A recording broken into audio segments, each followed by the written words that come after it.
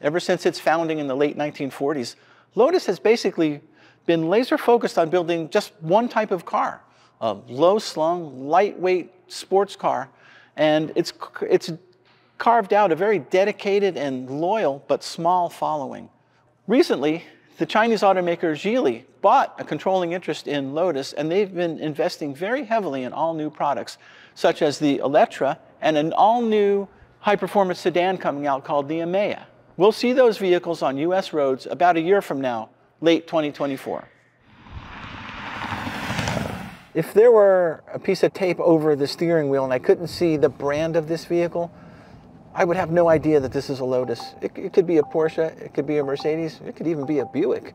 That's the downside of an EV. You lose a lot of the character and the personality of the vehicle. Traditional Lotus fans are going to love the Eletre because it does what all Lotuses have always done. It delivers really great, super powerful acceleration. Well, if you're a Lotus fan, here's what the acceleration is like. It'll definitely put you back in the seat.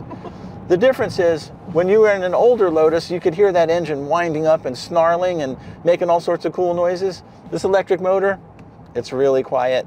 That sensation that you get from the exciting sensation you get from a, a, a really angry gas engine, not there here. They, they, they, probably could add some sound to it and uh, give you more of the real Lotus experience, but it's pretty fun to drive, I have to tell you. So the two new vehicles from Lotus are going to take the company into not only new segments, but also new pricing territory. And it's going to put them directly in competition with Porsche and Mercedes-Benz and maybe even Aston Martin a little bit. So the challenge is, do people value the Lotus brand enough to shop them along with the other established luxury brands in, in this space?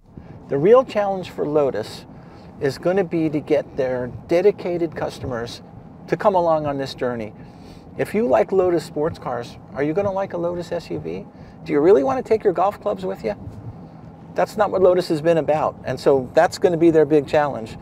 It's a whole new Lotus, but will it be one that people love?